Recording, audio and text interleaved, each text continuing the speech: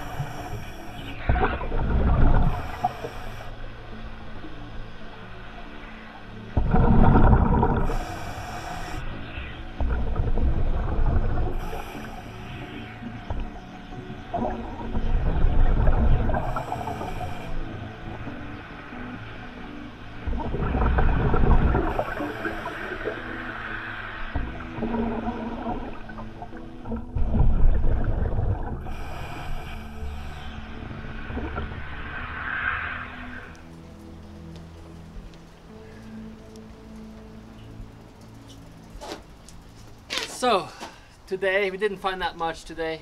Found, uh, or we found a lot of bikes, but we only took up two of them. Found a medal, gold medal. I don't think it's real gold.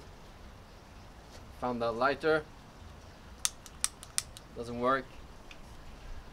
Found a wrench. That doesn't work either. Some kind of uh, weapon. I'm not sure what this is. I think it's to smash smash windows with. Yeah, I think it's something for a car. And the treasure. Found the GoPro camera.